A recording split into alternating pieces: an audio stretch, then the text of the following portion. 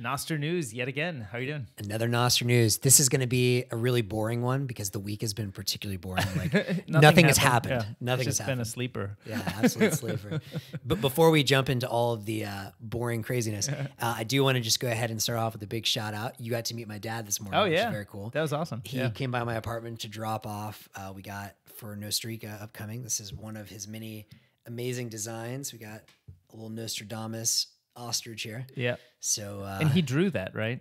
yeah, or he he does all kinds of different art. So I think this is probably like an illustrator, but he takes various images together, draws collages it all together. He. I does see. animation as well, Right. sculpture. And I can see there's like a purple ostrich right there. If you can see, Oh, yeah. it says Nostradamus across the the top here, and then a bunch of ostrich feathers and all kinds of little references all over. So it's it's really cool. And is that one going to be for sale in Lightning Store or somewhere? I well, I don't know about Lightning Store, um, but my hope is that you know my dad's not super deep in this stuff yet. Mm-hmm. Um, so maybe we'll put it up on Shopify or something easy, just Mm-hmm. in case other people wanted to to wear it. But maybe we can do that with a Lightning extension, and then eventually I'll help him get a BTC Pay server set up when we have time and all that. So. Nice. It seems like that kind of thing. It should be easy enough soonish. Is that is there somebody who's doing kind of the full stack, easy to you know, almost as easy as to use Damus, easy enough to set up a Shopify with BTC Pay server? I want to say there's already extensions. I think Strike has a Shopify extension. Um, I think there's a few others that do all. So you're saying so you're listing on Shopify and just taking payment via Lightning. Yeah, it's like as simple as just downloading a plugin and be able to accept Yep, uh, yeah. BTC. So, anyways, I'll, I'll I'll help him with that at some point. Eventually, it'd be super cool to like okay, get get his own node, you Yep. know, BTC Pay server instance, or even as we'll talk about later today, maybe get his own LN bits running on there. Yeah. make it super easy to do that. But Yeah.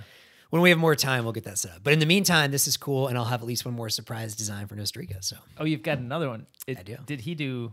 Yeah, he did too. second. Oh wow, and it's coming on the trip. I got it in my house. All right. So, and we're we're actually leaving Friday, right? right. So today's Wednesday, so we're we're two days away Mm-hmm. from the main, tr- you know, the main launch point. and then I think Saturday we're going to be in. We've got the house locked down, That's and we've got I think we've got a video already scheduled for Saturday. Yeah, we need to get a couple of those, like just like get the times together. But Yeah. we have at least one that we're going to aim for for Saturday, um, and then I've got a couple more that are interested. We just need to put put pen to paper. But yes, and anyone listening to this, if you want to make sure you get on our our uh, slots, like we got a lot of interest. Yeah, we should put a calendar together, or just you know DM us or whatever. and Yeah, we'll- and I'm sure we can do it very informally. Like Yeah. you know, just take people from the conference. Easy. Yeah. It'll be exciting. Yeah. Yeah. And I think I saw a note yesterday that you know the Nostrovia podcast guys. Oh, I I mean I'm familiar with podcasts. I, Yeah. I don't know the guys. I, I don't know the guys, but I saw them on Nostr writing a note that they're. I think they're going to have podcast equipment on site. oh, amazing. So they're going to probably do some recording and kind of pull people in there. So Cool. Maybe we can even do it with them. Get get one with them. Maybe pull them in, and we can do a video at our place. So I love it. yeah, it'll be nice to meet them because it's the same. I think as G Sovereignty is the same guy who did. He's doing the Nostrovia podcast, and I think he's also the guy who did the Nostrocket that we talked Oh, about. right, the right. So those thing. are Yeah, yeah, yeah, that's kind of same. Yeah Cool. So- I Can't wait. so much uh so much going on what else is going on so so for uh nostrica we're flying into san jose Mm-hmm. then taking a car into uvita where the main conference is Mm-hmm. Uh, we're hanging out a bunch like the main what's the what's the overall feel of the conference like it's a little bit unconference there's some stuff scheduled You know, I'm I'm, I'm so bad at this stuff. I haven't even like looked yet. Like, I think I signed up to do something. I have no idea if I'm still on there. I, I need to like look at that. We should do that today. Right. But I mean, honestly, whatever. Like, I think it's cool that there's some stuff scheduled. But the reality is, the beauty of these things are you just get 300 like Yeah. nostriches together, and it's gonna be awesome. Like, even if it's just nonstop chit chatting with people, Right. You know, and but then uh, there's also a virtual component. I think there's whatever. Oh, that's few- right. hundreds of i think i thought seven eight hundred people maybe more signed up in like the virtual conference. So there must be some like structure of when they pipe in or you know how we sort of get the content and discussions piped out to the virtual attendees very cool. I, yeah, I mean, I knew there was gonna be some kind of virtual component, but I didn't know it was that big already. Damn. Yeah, I, I think it's All bigger right. than the in person. If Let's I go. recall, because I because I was like, you know, as I always am, like very late to sign up and register for everything, and I kind of relate. I can relate. and then they're like, well, you could just do virtual. And I looked at it, the list was like, I think double the size or more. So, it's a good sign. It's a good sign. yeah. Um, one of the things that I saw, I think I th- saw a note from uh, Jeff Gardner. Do you know who that is?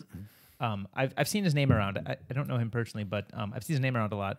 And he's hosting a Nostr for non devs workshop. Oh, cool. Um, so I kind of want to go there. You know, he's got a post, see what that's all about. I mean, you know, nominally I can do some software development, but I wouldn't consider myself a Nostr dev. I'm more like a a Nostr video creator. Yeah. CMO. One of many PMMs. Yes. um, but yeah, that's uh, that that's a workshop that I'm excited about. And then I think a lot of the evening activities are, you know, go kind of visit the local dining establishments or drinking establishments and just kind of hang out. And, Well, I'm super stoked because I've never been to Bitcoin Jungle, and so my understanding is Uvita is Bitcoin Jungle, or at least they're like super close.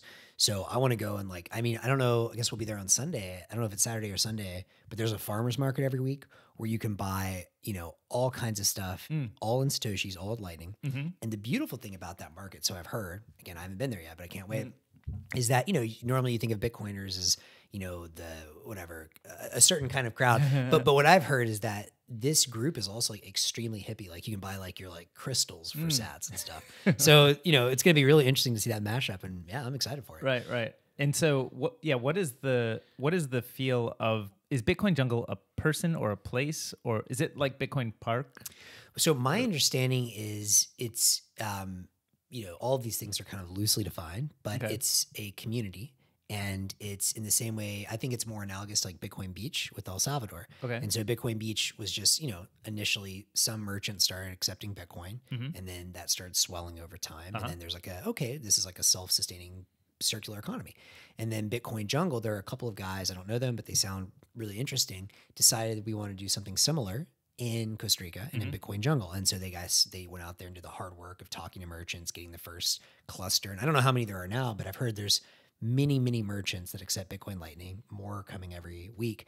And actually, um, the guys that built the Bitcoin Beach wallet, Galoy, are also the software providers for the Bitcoin Jungle wallet. I see. So they have their own custom wallet as well. And is Uvita location that is the center of Bitcoin Jungle or is Yeah. near that is it? Th- that's my where that- understanding. Okay, cool. Yeah, yeah. So we'll get to sort of be plugged in. I've seen the name, you know, forever all over the place, but I never really understood.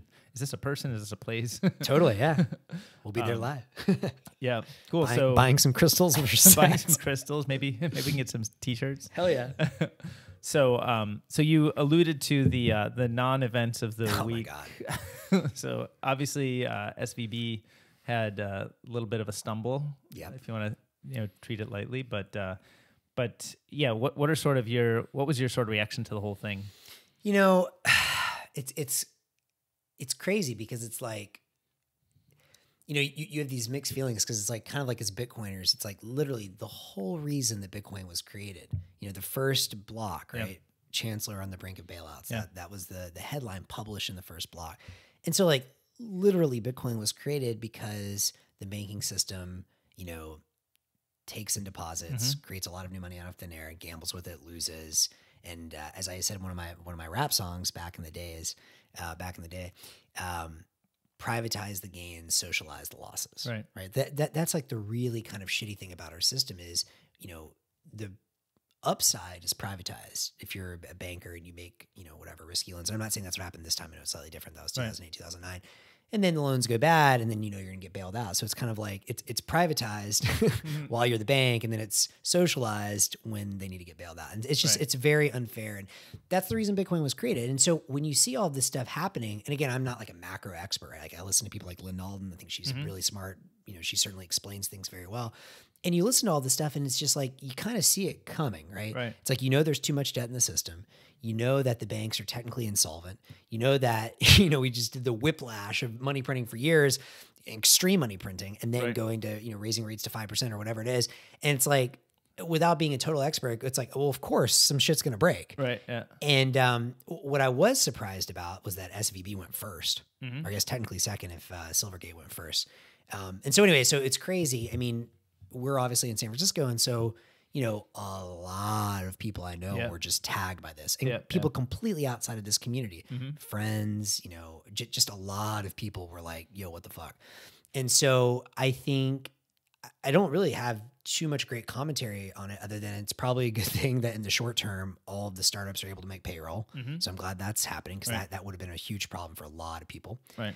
Um, and yet, I don't know, like a lot of the lessons people seem to be learning are just, well, have multiple accounts on multiple banks. It's like, that's a start, but like, why did this thing happen in the first place? So I, I hope that these events can kind of be gentle orange pilling moments, but it's kind Mhm. of coming to the point fast where it's like, look, like the time for gentle orange pilling is kind of years ago, right? And so, you know, I've got a lot more people reaching out to me saying like, Mm-hmm. "Hey, you know, what this Bitcoin thing, like maybe it's real. How do I get it, you know, into it?" And I don't know. I just hope it's not too little, too late. I hope people are able to make the jump. I mean, I saw this morning apparently Credit Suisse now looks like they may be insolvent. Like, Right. it's not like we're out of the woods yet. And Right. um, I don't know. It's just a really weird, weird time. Yeah. how have you been reacting to it all? Yeah, I mean, I, I would say it's you know both surprising and not surprising because like I think a lot of the reason that you know we look at like Nostr or Bitcoin or these decentralized technologies is because I think a lot of people, you know, myself included, collectively believe that you know there are there are risks that are built up in the system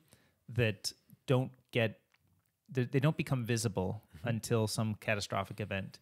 You know, like people say, I think it's who is it? Somebody's famous for saying this, but you know, kind of like the turkeys. Like, Uh, I think it was uh, Nassim Taleb. okay, yeah, like turkeys you know, doing fine, growing every day, and then Thanksgiving comes and he's just dead and catastrophic. You know, yeah, probably till the black swan event, right? So I think like that. That I think you can look around and see that in many places, and you know, I think in how we publish and communicate, I think those same kinds of risks exist, and that's why you know when I see Nostr, it just you know lights me up because I'm like, okay, this is a way to remove those risks and reset in a new system, a better foundation. Um, and I think I think that's kind of you know I, I don't think the banking system that we have today is going to go away overnight. Yeah. I I like the fact that there are alternatives that at least let us experiment with new ways that it could work. And I don't think everybody's just going to transition, but I think having a credible alternative means that the existing system has to figure out how to be better. Yeah. And you know, maybe over time it loses its importance or it fades because of the risks that are built up in it that we can't otherwise see. You know, and I think that's true for any centralized, you know, take it money or media or communication or, you know, almost anything is better when you push more of the decision making out to the edges instead of having it sort of at that center. Um, so I I I would say like I'm I think it's good that people can make payroll Yeah. because I think you know Yeah. making innovation continue to be able to work in this way. Like we don't have yet a new way. Like Nostrocket of the world are such a great you know early example of the kinds of experimentation, but it's nowhere near ready to Right, right, right. actually be the way we we assemble teams and drive innovation forward. So I think the fact that deposits are protected is a good thing. I think the fact that equity holders got wiped is a good thing because that's like it's functioning as it should. Exactly. Right. It's like you got this capital at risk. You hope that it grows, and sometimes it doesn't. It goes to zero. I think that's totally fine. You know, w- wipe it out is fine. But I think having deposits Yeah. uh, secured is, uh, you know, I think a near-term need to continue being able to build new things. Um, and you know, over time, I hope that there's less dependence on that that form. But uh, but it's going to take some time. I think we need better tools. Yeah, we need better tools. And as you said, I mean, I think the analogy with social media and with publishing in general uh, is great in the sense that you don't really need something like Nostr. Although, I, although we've talked many times about how it's the ability to experiment that's so exciting, better product experiences. But you know, at the same time, it's like you don't need Nostr until all of a sudden you really need Nostr Yeah. when your Twitter account gets shut down or whatever. So, I think it's an important lesson. I mean, the only question I tend to agree with you. You know, if I was doing kind of probabilities, maybe eighty percent, you're right that it's going to be still this gradual transition on the Bitcoin side. Yeah. On the other hand, if stuff starts spinning out of control fast, I mean, you never know because I think one of the interesting lessons from the SVB thing is in the old days, um, if you wanted to get your money out, like they were like in the Great Depression, they were like lines. Yeah, yeah. Well, in the digital age, money in theory, even though it's much slow, slower in a non-Bitcoin world, like you can still move it online, which is much faster. yeah. And so, you know, people are on there blaming Twitter and all this. So like, obviously that was, you know, something that accelerated it. It was obviously a systemic problem. Yep. Twitter didn't cause it. But we did see when people can communicate online quickly, use their phones to get their money out, of course things move much faster. So I I would not rule out a possibility that suddenly for Bitcoin happens faster than we think. I'm not saying it's the likely outcome, Right. but in a world where a lot more people you know are going to move things a lot faster and now there is an off ramp to bitcoin that Right. yes you have to learn yes you need better tools but like if you do learn it you can do it almost instantly Yeah. so I, I don't know i think it'll be interesting to see how fast it all goes Yeah, for sure. And I'm I'm a fan of it getting there as fast as possible because I think giving people more control of their future is like just always a better thing. But I think we also need how should a multi sig custody Yes, across exactly. You know the corporate officers of some entity, or should they should we even have corporate officers? Maybe we Exactly, should exactly. have just you know pull requests and well and you know it, it- it's also gotten me thinking you know honestly right like this i never in a million years would have guessed svb would be the first one right and so it has gotten me thinking this and some other things um, that you know corporations. I've I've always just said, okay, for every company I work with, almost exclusively across the board, just do a Delaware C corp. Mhm. That's where we have case law, this and Right. that. But as we've talked about, like, I mean, that may not be the ideal structure, cer- certainly in like ten or twenty years. Right. But maybe it's faster than we think. There's a lot of risks to being domiciled in any country. I'm not saying there's other countries that are better than the US right now. I look across Right. the map and it's like Singapore, maybe, but that's, you know, there's no democratic society there. So things could shift quickly. It's like, where do you, where do you domicile? Yeah. Because there's other stuff. I don't know if you saw, like, um, not to go too off topic, but there was the Lightning Labs issue with Taro and all that stuff, which is ridiculous. But like, that's a judge and that's a, the court system doing something I think is pretty silly. Right. So um, I, I don't know. I mean, I, I do sincerely hope, and I want to put a lot of my focus and attention the next year or two into stuff like the Nostrocket and other Yeah. ideas. Like, what what does the next version of a 21st century online native corporation look like? Yeah, yeah, and I, I think one of the biggest uh, things that needs to be solved there, besides just the tooling, is some definition of how or some experimentation with how governance Yeah. in that should work. Because when you're dealing with a transaction that's going to settle right now, you actually don't need a lot of governance. But when you're talking about a thing you're going to try to build together that you you get to reap the fruits of 10 years from now Exactly. you're inherently putting trust in the people who are doing the thing and organizing it and you know understanding how to think about that we just don't we don't have much of the experimentation run and most of the experimentation that claims to have been run was run in ways that i would say are not fruitful for even understanding better so what i want to do is escalate our collective understanding by running small scale experiments 100%. that test the downside cases. The upside case is fine. Everybody makes lots of money. Great. Okay. right. But the downside case where, hey, like person A disagrees with person B on the direction of what product should be built next for the thing that we're aiming for that's going to be great for humanity 10 years from now. That we haven't prosecuted that kind of adversarial trust required relationship. Um, so I, I almost feel like we should just be, you know, racing toward more of that kind of experimentation. 100%. and once we start to have oh i see how that goes wrong or uh, i didn't expect that but now now we have a sense for that then we can actually start to build those tools. And i think those will become those re- those tools those governance processes will become the replacement for the you know us domicile delaware c corp over time i would suspect. Um, but uh, you know when you start getting involved in securities Yeah, exactly. you you know you sort of appreciate that there is you know if people are going to be issuing you appreciate that there's some societal totally. governance and today the best we have is you know the sec And so centuries of case law built. I, Yep. again, I'm not taking anything away from that stuff. yeah yeah but I, I guess the takeaway is the, you know the call to action. We want to see a lot of experimentation with what does if you were redesigning a corporation for the 21st century Yeah. with Bitcoin, with Nostr, online native, what would, what does it look like? yeah and and also i guess related to that but a very different did you i don't know if you caught the the discussion i had with joseph jacks about open source everything I listened to like the first 20 minutes of it. he, he was definitely very animated. It was good. I, I haven't listened to the rest yet. It was but- good. I I liked that. Uh, it wasn't like super Nostr focused, but one of the things I liked about it, it was very open source focused. Yeah, which and is I think in a sense, the all the reasoning is in support of kind of the like why does Nostr exist? All the reasoning is consistent with that. Um, I think he's trying to do it as a venture capital firm. Yeah. That you know, it's similar to like I think the questions that we talk about a lot, you know, as kind of angel venture investors is, you know, how do you figure out where is worth investing versus where are going to be just like wealth for humanity that is not going to be part of a kind of corporate structure entity. Yeah, I agree, and I, I want to finish the uh, rest of the episode. I think you know his his take on open sourcing everything. I, I generally love that, and I think it's a great idea. And I think yeah, it's a really interesting question for us to figure out. I, I guess that's what's really cool to me is I feel like we're we get to be a little bit of pioneers Yeah, here, yeah. And, and I'm comfortable taking those risks. I, I mean, you know, we're transitioning from the old world to the new world, Yeah. and like, how's it gonna work out? I don't fucking know. You know, like this is gonna, this is this is our experiment, right? So yeah. well, that's what's fun. If it were all figured out, you know, just another SaaS tool that you sell to all the big corporations. Like, okay, I get it, but that's just boring. in a sense, yeah. Yeah, so- Relative to some of these things, these questions that are you know big societal, you know, political, societal, philosophical questions that are all you know you've, you're forced to deal with. So At the very least, we know the next decade will not be boring. Won't be boring. and speaking of stuff that's not boring, so as the old world collapses, in the meantime, uh, did you see yesterday OpenAI put out GPT-4? I saw that. Yeah. Did you play with it yet? I haven't played with it. I read a little bit about it. Um, what I what I understand from just reading about it, and I you know I see people make demos and stuff and show things that you can do.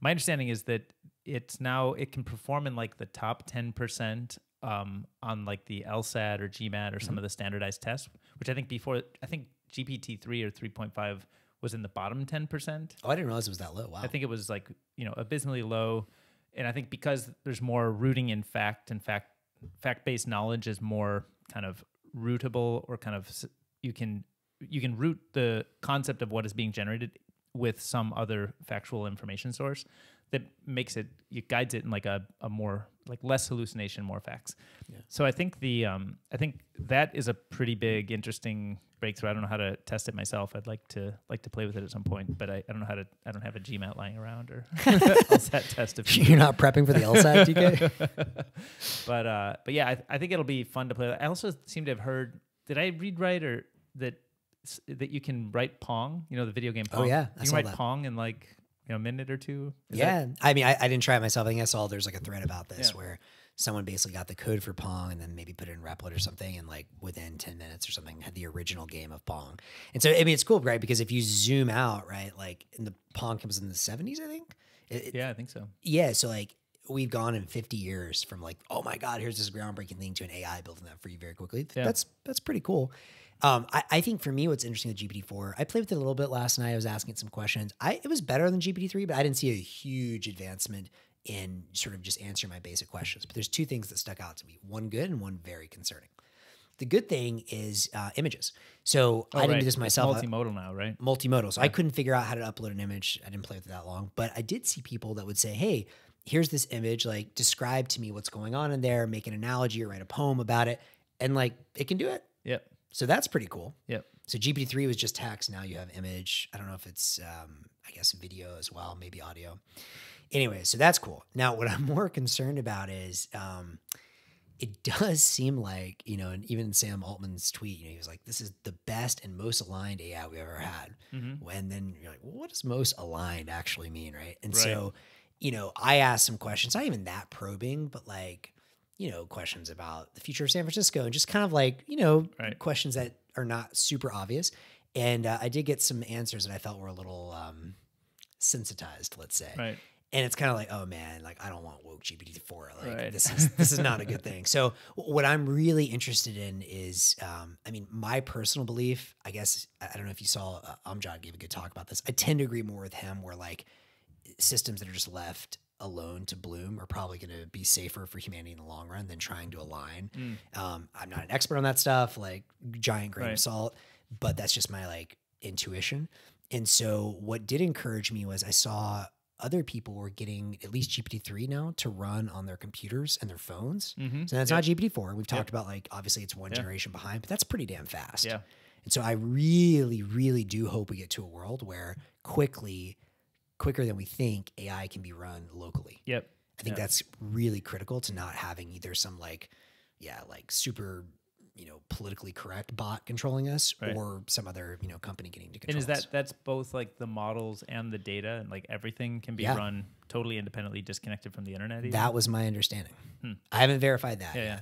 but that was like the talk of the town besides GPT-4 in the last day or two on AI Twitter. right okay but we're gonna verify Yeah, we, we- we need to verify, but but Yeah. there's um, they were definitely able to run some version of GPT three on I think a Nexus, like a phone. it's like an android device yeah yeah, Yeah.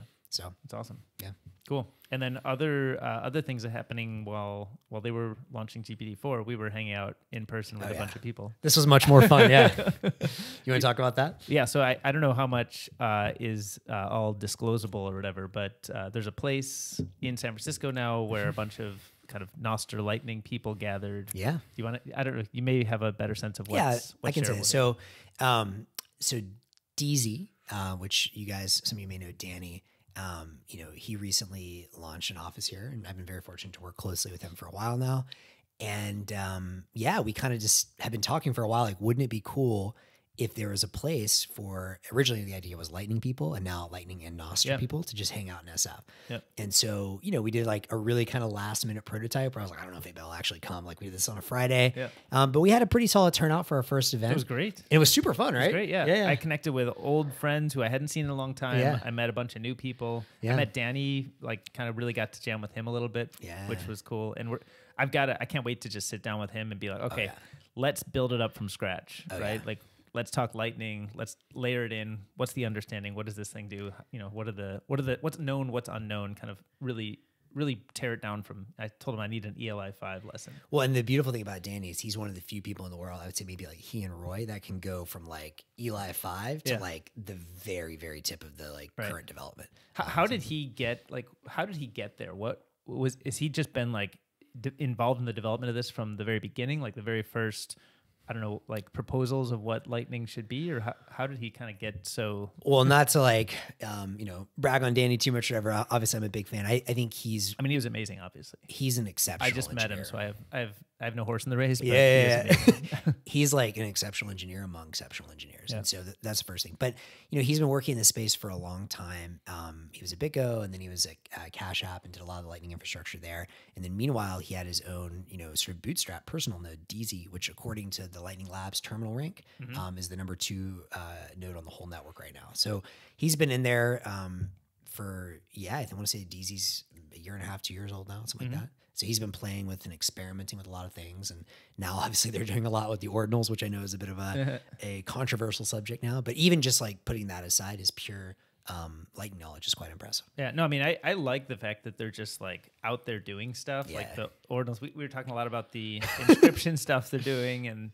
and the they were talking they're going to use an existing wallet but build their own marketplace. Oh, yeah. for these right. If So right? if you guys, if you haven't played with this yet, um, so they, in addition to their main node product, they have um, both APIs, which I don't know if they're public yet, but they probably will be soon for Mm-hmm. inscribing um, images on ordinals.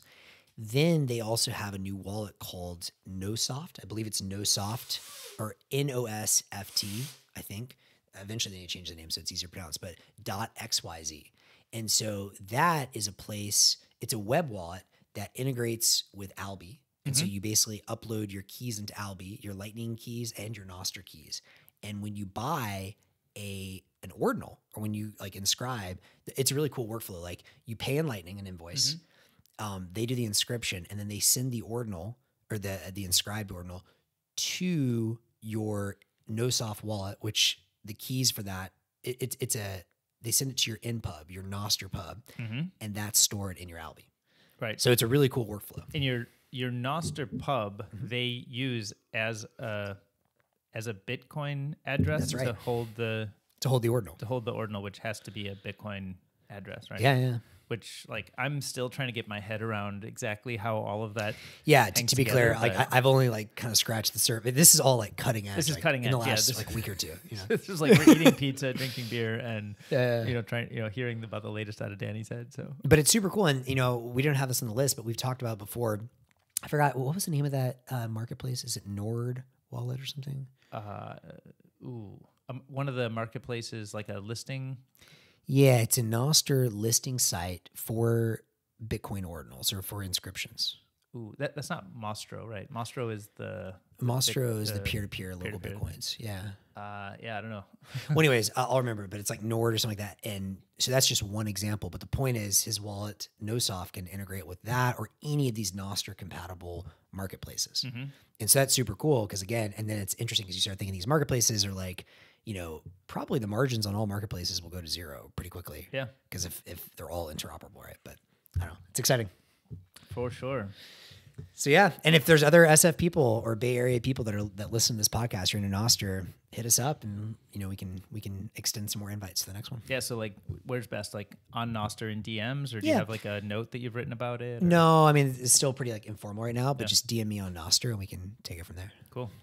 That was a lot of fun. So in, you said they're happening kind of monthly. Is that the typical cadence to think That's about? like the that's what we're thinking about in, now. in Mondays are going to be the thing or we'll still- probably do a different night. Actually, Okay. Monday was just for this one, but I more kinda- TBD. I'm voting Tuesday, by the way, but fair enough. Fair enough. I always have my Tuesdays free. Okay. Um, Okay, and I so where are we? So we we were talking about some uh, some updates. Uh, Mm-hmm. Iris Desktop. You mentioned. You mentioned the Iris. So Iris is a famous for being one of the top. Iris.to is one of the top web clients, and I think you're saying that they now have a desktop client. Yeah, I just read that yesterday, and I actually haven't had a chance to t- test it out yet. But I'm very excited because I hope this is one that works with my, you know, my old Mac Intel uh, Hmm. chip. So I haven't tested it yet, but um, I think it's great that you're starting to see new like desktop apps. And is that like Mac, PC, Linux? I Um, think it's everything. Kind of everything. Yeah. Okay. Wow. But more to be determined soon. But I was just excited to see a desktop app because I think, like you said, the reason that you know stuff like Damus wasn't working on my Mac is I think you said it was um, not a Mac native app, but there's some some way when you publish to iOS, it can work with the new chips. Yeah, I, I think the the new the M1s and onward, so M2s and all those um, are Apple Silicon that can run iOS apps Exactly, yeah. natively. And I think I have a I have a Damus client, and I believe that's what it's doing. I think it's just running the the.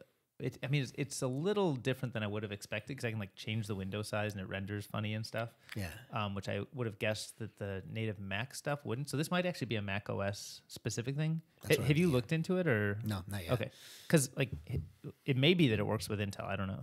No, sure no, I? I- definitely tried Okay. Damus. Yeah, yeah, and it says not compatible. okay, got it. So Um, so yeah, I don't know the the details. I use Damus on my M1 all the time. And Yeah. it seems to be fine. Um, cool. And then other clients. So we saw uh, so Vitor Pamplona, who's the creator of Amethyst, has a new Amethyst 0.25.1 release, and that's it's got the some Android client. That's an Android client. Yeah, so it's kind of like in you know the Damus is probably the most used, talked about uh, client in the iOS ecosystem, and I think there's plenty of others kind of coming along. Um, and then I think Amethyst is kind of the number one, kind of the Damus of the Android world. I like that. if that makes sense. Cool. Um, and of course, you know we're going to celebrate lots of new clients. We're not not advocating everybody use one, but these are a couple of the early ones that are really well done. Totally. And then another one that's really well done. I mean, these web clients just keep coming up, and it's, it's so it. exciting to see so many new, so much good work being put into this, and it's so it's all pretty early. But um, where was this one? Yeah, this I'm gonna just pop it up here just to give a quick shout out because I just I just opened it up. I thought it looked really nice. Um, so this is this new client called Primal. So it's primal.net.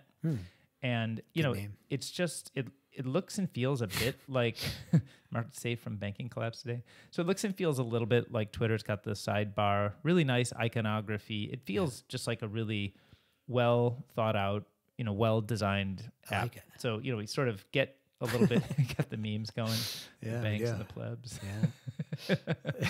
Um but they got some zaps. yeah. So I, I just like to celebrate, uh, you know, new um, new clients getting built and you know more experimentation. So That's the whole thesis. whenever there's something really nice out there, I want to give it a shout out and, and get people playing and, and and give us feedback. Like if you play with something, you're like, oh, that's awesome. Yeah. I, I wish it had this feature. We'd love to hear that because then we could also try to advocate for that feature, hear about other clients, and and hear about where those you know where they might already have those features or be considering it. So Yeah, yeah, anything we can do to sort of help help get the word out about these new things. Cool. Um, Sh- should we go do the the stats? let's do it. Yeah, I'm always stats excited. time. Stats time. we need like some music. We got a little little We theme song to there. Stats time. Woohoo! All right, let me make sure we're on this. Okay, so now we're on the stats time.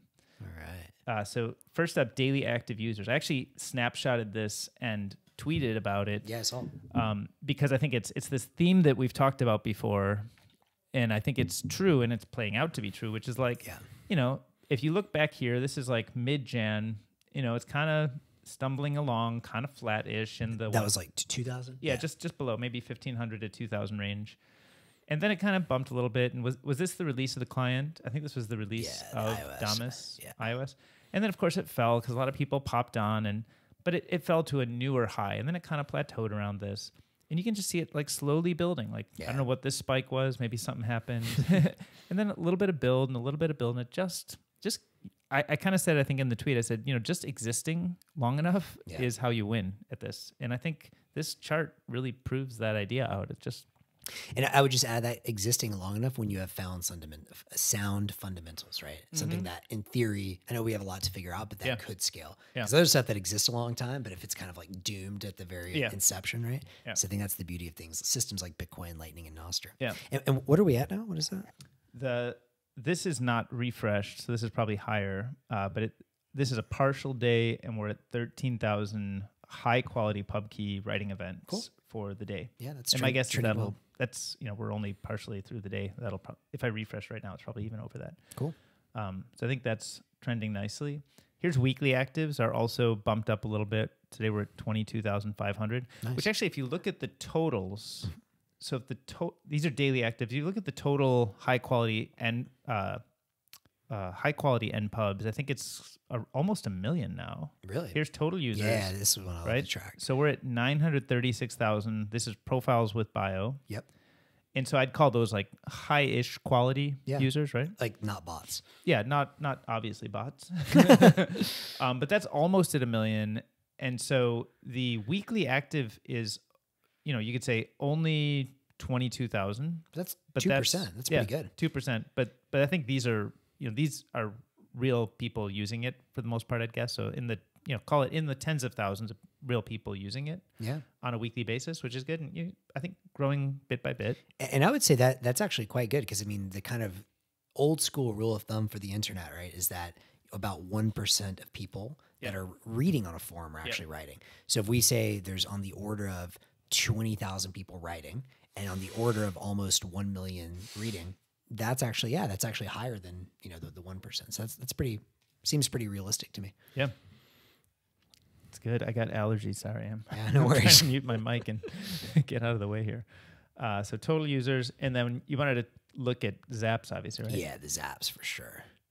So these are total events, daily Zaps. So I, I filtered out some of the Mm-hmm. noise, and I've got the um, the kind of pink and orange here are the Zap senders and Zap receivers, which I thought was interestingly like similar in like the people number of people receiving and number, number of people sending is like roughly at parity Okay. um, which I thought was kind of kind of interesting and cool. Um, and those numbers are in the kind of like what are we at? You know, sixteen hundred on a given day. Are, are zapping or is that receiving? These are Zap senders or receivers. They're they're roughly in the Roughly same the same. Okay. you know, same range. They're, they're rough parity, and this is partial day, right? Yeah. Um, and that's interesting because if we're around, it was like 13,000 ish dailies and then call it 1,300 ish. So it's about 10% of people that are doing, Yep. that are writing notes or zapping right now. Yeah. Okay. and I think like it's not even core to all clients yet, right? So Totally. Yeah. Yeah. um, total Zaps. Again, I, I like this one. for the total. So we've got What are we at? two hundred thirty-one thousand total. right. Um, Continuing to trend up into the zap right. What we like to see. There, there was this uh, this max zap amount of 10 million sats. Do you know what that was for?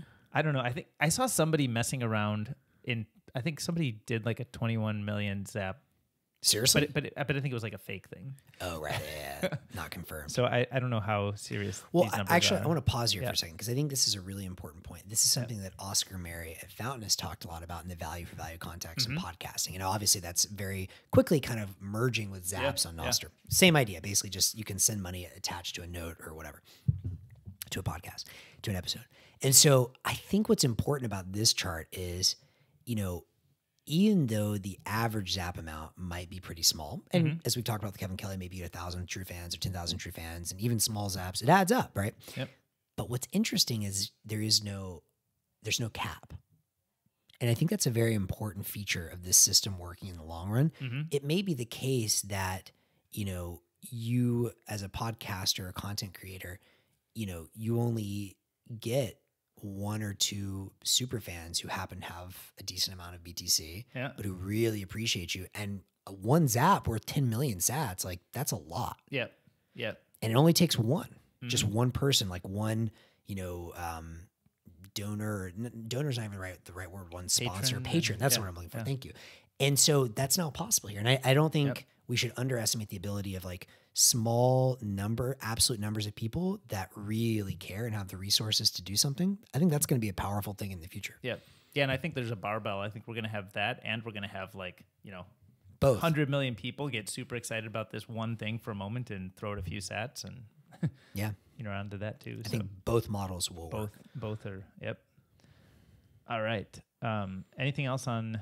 I'm just curious. Oh, actually, yeah. What's going on with the I thought this is interesting. Users per relay. So there's 38,000 writes, 38,000 reads from high quality pub keys on the Damus IO relay. Yeah. which um which I you know is the biggest, but I'd say that's kind of another if you wanted to proxy how much people are using the service, you know, kind of the protocol. Yeah. I think that's like a good way to triangulate some of it, you know, so kind of in that 35 40,000 range. Yeah, that means that makes sense. Although it's interesting to me that Damus is kind of pulled away as the clear number one here, at least for now. Like, um, I think if I recall, I don't remember if um, like Snort was pretty close now. I think they're still number two. Yeah, Snort is number 2, I think, and they're at 33, so Not they're- that far, in, actually. in the range, yeah. Yeah. I think it's nice that and here's Nostr.land, there's Eden, the paid Yeah. relay from Cameri, Chimera, uh nos.lol the good name. BRB, which is is that the NVK one? I think so. Yeah. Yeah. And then orangepill.dev. So, oh, I also saw. Did you see that um, Artur has one now, You mean a new one besides? or maybe it was old news? which one are you talking about? Uh, I just added it. Let me let me look. Oh, Is hell there- Yeah. Well, because he had the relay that was like a super relay, and you could connect to it, and I, I did connect to that one a long time ago. Relay.nostr.band. Is that the one? I just added it now. Cool. Like meaning this morning. I don't even know. I didn't see an announcement. He didn't mention it to me, but I just noticed it. I don't know. Maybe it, maybe it was in a note somewhere. But I just noticed and I was like, oh, cool. Let me check out your relays. um, Nice. No, actually, no. I, I think I did have this one already. okay, yeah, So it's, it it might be old news. I'm just catching up on it now. But re- regardless, I mean, it's interesting to me how he's gonna. Um, I'm just checking. No, yeah, I, I do have Nostr band on there.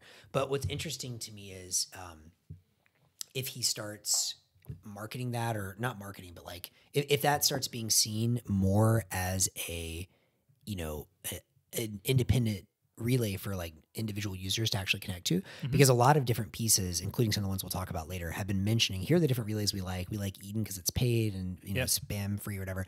And then a lot of people are talking about his relay band but as kind of like the aggregator super relay because he applies his trust rank or value rank Yep. and stuff like that so i'm going to be curious to see over time if it kind of becomes one of those aggregator layers or if more people start seeing it as also like a normal relay they want to read and write to right. What? Why would you not like if it's an aggregator Mm-hmm. relay? You're saying that it would only serve the function of aggregating, but would people only use it for reading then? well that's what i'm saying yeah i don't know if anyone's actually writing to it as an example Right, because he doesn't allow it. He doesn't accept. I'm writes? assuming he accepts both. I just think people think of it as the relay you like you want, you know, clean information from. I see. So so that's interesting. So I hadn't thought about this, but is it like he could pay, say, Eden Mm-hmm. to read, and then he could retransmit that along with five or ten other paid ones, and he can kind of become like a The aggregator. the aggregator. I don't think anyone's paying anyone right now, but I think that I mean he definitely, to the best of my knowledge, has the best aggregation rate so far. But I don't think many people are writing to him yet. I see. Is my understanding. Right, but it, that seems reasonable. That that a relay might want to be just signal for Yeah. reading and like write other places wherever you want, and they just sort of aggregate and do all the reading. But then if a lot of people start reading from you and they could write there, like, does it make sense to do both? I, I don't know. Yeah, yeah. It's interesting too because I guess if you like if you republish notes that Mm-hmm. are from a filtered set because somebody paid for it, I'm just trying to imagine how all the economics, you know, sort of where gravity is for the economics in those relationships. How so? What do you mean? Well, let, let's say that you run a relay that um, is a paid only relay, Yeah. and the main reason that you would only accept those notes from paid is because you want the reading of that to be high quality. Yeah.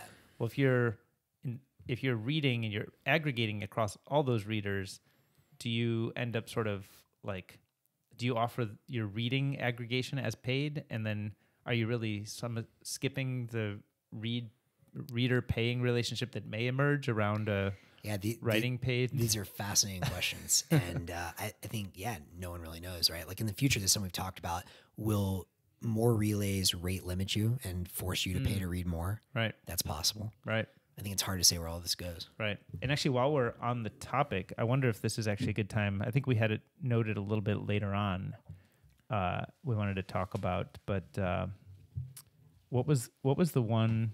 There's there's a relay. Is it Oh, Collider? Collider. right? Yeah, Collider just published a new So relay. so this is like very relevant. So might as well just skip ahead, right? Let's do it. So Collider has this new relay, and I assume this is is Collider building their own relay software and operating, or is this just using some other software? I'm actually not sure. I mean, um, yeah, I don't know. Okay, but their relay. Actually, let me let me pop it up on screen here. Okay, I think they have their own client software. right. So I think yeah, I, I think of Collider as a wallet is what I feel like I've heard. Well, well, it's interesting because I've actually known of Collider for a long time. My when I first when I used think Collider like two years ago, it was like um, kind of like derivatives trading almost, right? Like right. betting on the price of Bitcoin and stuff. And now, you know, I'm excited to jam with someone there in Costa Rica because it seems like they're really embracing Nostr. And Mm-hmm. I haven't played with their client yet, but I, I think it's like a full fledged client for the Twitter experience as well. Oh, cool. I, am I'm not sure, but I, I know their original, you know, starting point was very focused on trading. Got it. So they have the kind of historical trading business kind of then they have I think a wallet must be related to that and Mm-hmm. then they have a client and now this relay. Is this the first time they've done anything in relays? I think so, yeah. Okay. And to be clear, I haven't tested the client, so I don't know if it is compatible it. with Twitter yet, but they're So definitely tweeting a lot about Nostr. Yeah. Yeah, I see them all the time on on Nostr. Uh, so it says today we're excited to announce the launch of Collider Relay, the first subscription-based paid relay on Nostr. So the big difference here is that you're building like a monthly subscription relationship with them. You pay 8,000 sats per month, which is about $2 US, right? Yeah. and uh, high performance, low latency, subscription based. And so it starts to look at aligning the cost side of things with the value, right? Like if you pay a one time fee to a relay for write ability, but then you could dump however much data you want, that's sort of, you could get a mismatch there. Yeah. Not that they've necessarily solved all of that mismatch, but at least they say, look, there's storage requirements of anything. And so you're mm-hmm. going to pay it more like an AWS bill instead of kind of the one time gate, which I think is, you know, a, it, it has to happen. And it's good to see that they're already experimenting in that direction. Well, it's really interesting. We'll talk more about other relays that are experimenting with different models. But I think the one time fee was like a good, like, okay, just like super, super MVP. yeah, stopgap, like try something. Yeah. Exactly. Try something. I think the subscription model makes a lot of sense. And I think that's what people are used to paying in sort of the old world. However, we're already starting to see some relays um, experiment with the, or at least it's now theoretically possible to experiment with charge per megabyte or per kilobyte of hmm. data transmitted. Right. So that's also interesting because if you, you know, you pay a one-time fee to write and then you abuse it, that's pretty dangerous. So, so maybe we'll see models where it's like subscription unless you reach a certain limit and Right. then you have to start paying over that. or Yeah, something. which is actually kind of how we do micropayments. Nobody calls them micropayments, but that's kind of how we use our phones historically, right? yeah, exactly. You you get like a plan for how much data, how many texts, how many minutes of voice or whatever, and then uh, and You over go crazy, you can pay extra. yeah, and then if you go over your limits, you you know there's like a, a, separate per kilobyte or per text fee. I think most of those, I think a lot of plans are all you can eat today, but like the evolution included that for I don't know a decade or more probably, right? yeah, So it certainly seems like a a worth mo- a worthwhile model for relays to explore. cool. Um, anything else on Collider that you No, wanted to look I at just here? thought it was good to see the innovation. Yeah, mostly prevent spam, and they're yeah talking about all the all the different relay types that could occur, and yeah, I'm gonna give that one a try. Totally. Yeah, and thanks to Collider, we've seen they've also been like regular listeners on our show. So thanks Yeah. for thanks for the love, guys. Yeah, I love it. Thank you. Um, cool. Uh, do you want to talk? Uh, so we we did a little a little show. We were guests on somebody else's show. Yeah, it was uh, fun. Yes, yesterday was it? Yeah. Yeah. Um, so you want to talk a little bit about the Bolt dot Fun design? Totally. Yeah. I mean, so first of all, um, huge shout out to Johns. Johns has been kind of doing this tireless and like thankless work for a long time. He was, I mean, for years now, it seems like um, organizing Fun, which does a number of many things, but one of their kind of most well known things is they organize hackathons. Um, and their big, their first major Lightning hackathon was last year. And they got a bunch of cool Lightning projects. You know, there's, I don't know, like dozens of projects that got submitted, and some were pretty good. And so now they are early adopters of Nostr. In fact, they were one of the first on their website to integrate Nostr comments in a discuss style format, which is really cool. Yep. And I, I, I think the word is not um, not enough people know about them for how good they are yet. So Right. that's that's something I think they they deserve a lot of praise, and um, hopefully more people start using Nostr on their site. Anyways, so now they're running in combination with the new community, the Nostr design community, uh, and Wolf, the accelerator in New York, I think is their main sponsor. They collaborated to throw a Nostr hackathon Um, well, it's like a Denoster engineering and design hackathon.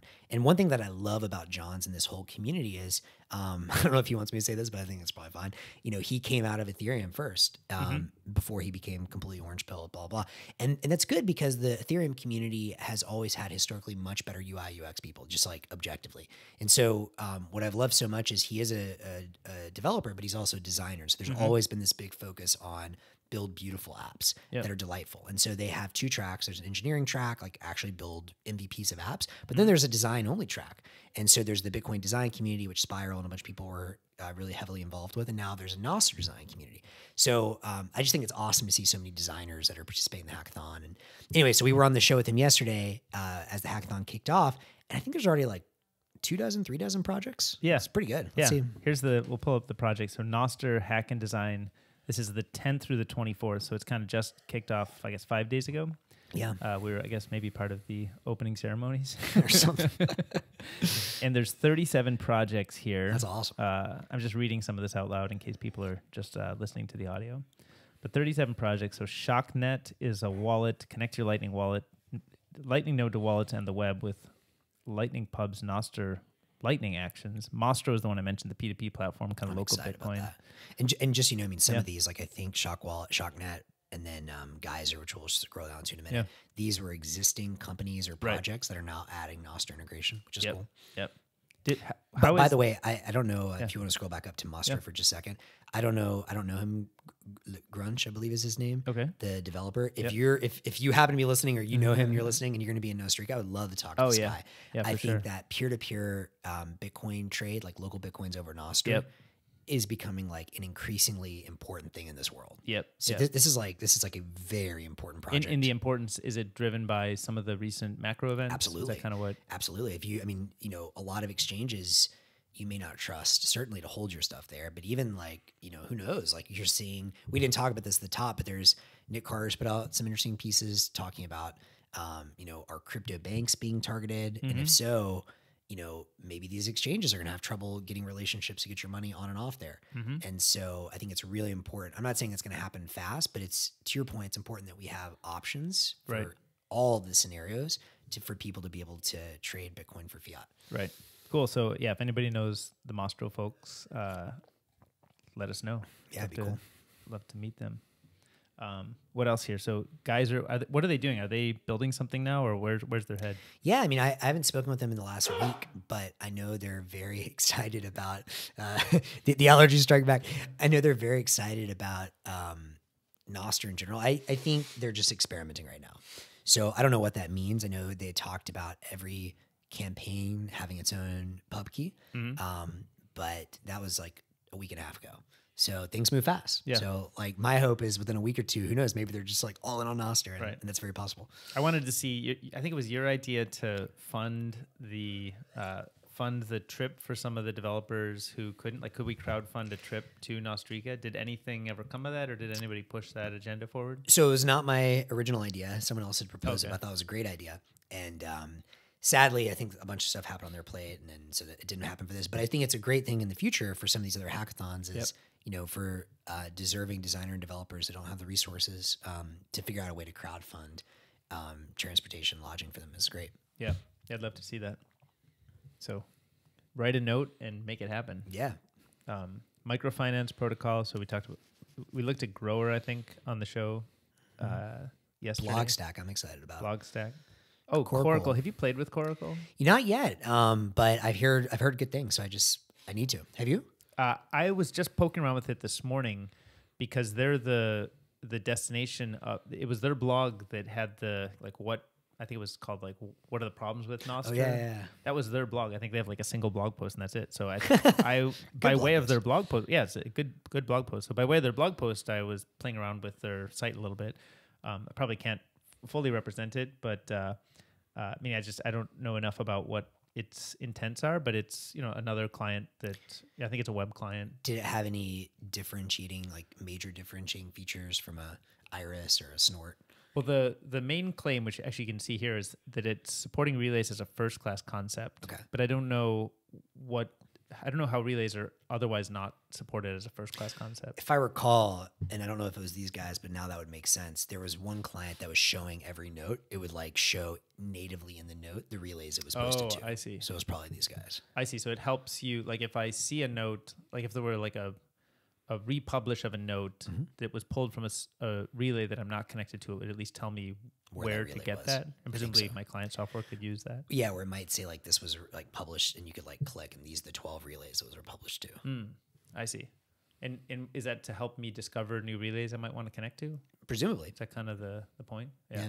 Yeah, I think like how to know which relays I might want to connect to seems like a big open question that seems to pop up again and again. yeah, it's a good question to explore. Um, Nostros is an is an Android client, uh, including posting notes with text and images. I think that's actually kind of important. I know it has Yeah. centralizing forces to it, uh, but I think making a good UX that's easy to post pictures can can really help. Nostr Stack, and there's another one on there as well, uh, NDK or something like Nostr Development Kit. Like I'm excited to see more dev tools pop up. Oh Like in general, just like how do you make it super easy for people to prototype apps? what is NDK? Is that is it a I think it's a thing? I think it's a completely uninsp- uh, not in- inspired by BDK and LDK. But no, um, it's what's his name actually? Who I'm super excited to meet, Pablo, Pablo Vaz or whatever. Oh, I've seen yeah his name. Yeah, man, that dude's been publishing a lot of great stuff Yep. recently. I've been just super impressed. His website, the dude's prolific, and yeah. So this is, um, I'm assuming he is. In fact, I know this. I read on his page. He was experimenting with BDK, learning Rust for that. Mhm. Um, maybe LDK from Spiral, um, but I think he just wants to basically make it super easy for any developer just to have all of the libraries they need to start building Nostr apps from scratch. So as an investor too, I love seeing these like just like Yeah. dev tools that make setting up your environment a lot easier to experiment. Right. I heard. I think. I think it was on a Nostr note. Uh, Moneyball was sharing with me that I think NVK and Jack were trolling Steve about picking it up. Seriously? I, about about doing some sort of NDK. Yeah. Oh, well, I think. I think it was mostly a troll. better better move fast, Steven. Um, and then the uh, the other one, of course, I, I need to solicit this Oh, yeah. cool lighter. I am still obsessed with this idea. Yeah, I this still feel like thing, this man. needs to happen, which is I want to be able to read a blog post, so maybe like a long form blog post written Mm-hmm. probably on on a Nostr kind of uh, focused blog presentation client, and then I want to be able to highlight some of the text, and I want to be able to read the other highlights that other people made on that. Yeah. I think that is a game changer for how we use the internet. I worked on the problem myself for many years, you know, long back, and never was able to solve it. Uh, but I didn't work on it in a Nostr ecosystem, and I think in a Nostr ecosystem, it's ten times, hundred times more obvious how this could work, how it should work, why it will work this time. Yeah. And so I'm super passionate about this. I haven't tried the Coolighter project yet, but I need to play with that. And yeah, I'd love to both hear from the Coolighter team as well as you know just see who else is working on this. What are the different approaches? You know, is there anything that I can play with early that might help help see Yeah. how it should look? if you're the Yeah. Team, this dude's thinking about this for years. So probably probably someone you should definitely talk with. Uh, scroll up though. I want to show there is that one. And let the- me pop back to screen share here. oh yeah, that Japanese one. That Oh, was super. oh no, wild. s- I wanted to at least mention it. Yeah. No, this thing. Sendai, right? I don't know what the hell this thing is, and I even spent a long time reading it all last night. I still don't quite know what it is, but it's great aesthetic taste. And my understanding is, I mean, just a couple ideas stuck out from reading their stuff. Yeah. They called Nostr quote the real metaverse, Right. and I like that Yeah. as opposed to like Meta's controlled thing. Right. And somehow, I don't know, again, I need to do a much deeper dive here, but somehow, like every pixel in this metaverse is it node or something. I, I don't know how they did it, but there's some like mapping of a three dimensional space Right. to Nostr.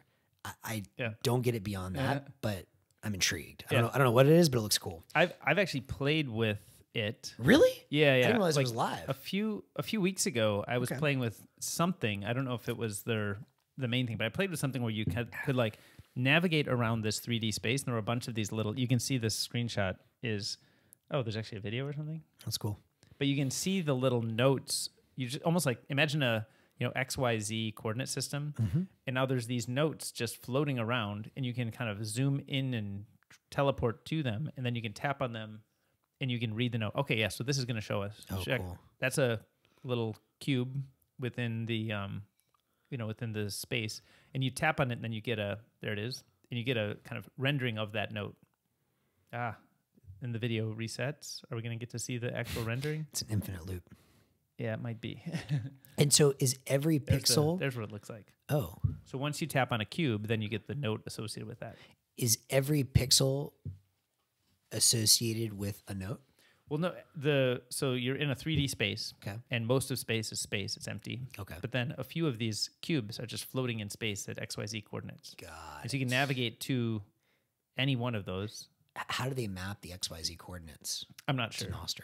I it may be made up. It may be have to do with like the time, date, something like maybe all the you know the first digit of the date is the x-axis and the timestamp is the y-axis.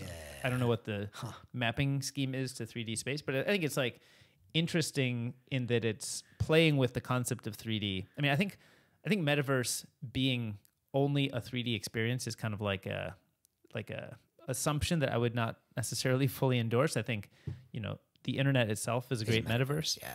and you know they're low fidelity 2D experiences, which I think you know it's about where we gather, how we connect, who we connect with, the people, the information, the content, how we choose to express ourselves within that. That's all. Those are like fundamental internet things. Yeah. And then, do we do it in a 2D space? Do we do it with a feed system? Do we do it with a, a game that we're playing that's all networked? Do we do it with a 3D space? Like those are all, I think, different lenses on what's ultimately like the metaverse, which is the internet. So the idea that we're just gonna like all strap into goggles and then like play this game with each other, I think is not very realistic. I think Yeah. there are great use cases where that that will be realistic. But I think the metaverse is just the internet. Yeah, like and that. let's just keep moving the internet forward. And one of the big ways to move the internet forward is like change the way publishing works Yes. and ex- enable a lot more experimentation. So in a sense, like maybe Nostr really is the metaverse. Well, and, and exactly, and, and this is something we've talked about before, but if Nostr is the new web, right, or the new internet, Yep. and the metaverse is just the internet, Yep. then that makes a lot of sense to me. I do what I like about these kind of projects in general. I mean, this, it seems pretty far out there, but I like far out, and I Yeah. like that. You know, it's you know, so far it's just been Twitter. And that's cool, but I like that people are starting to push forward, be like, wait, what would it look like if we had our own digital worlds? I also liked in their little note. I mean, these guys are very um, philosophically motivated, where they're like, you know, the Zuckerberg's metaverse is a place that's meant to to mine you of your energy and show you ads, and it's going to Yep. be some kind of hellhole. Whereas the internet, at its best, is a kind of commons and it's free and it's Yep. open. And hopefully, the metaverse, whatever that ends up being, is one where you can have real economies where people can create new energy and create new wealth and not be mined of it. So, Right. And speaking of uh, Facebook Meta, as you, as you mentioned, did I read right that is are they talking about doing a decentralized media tool?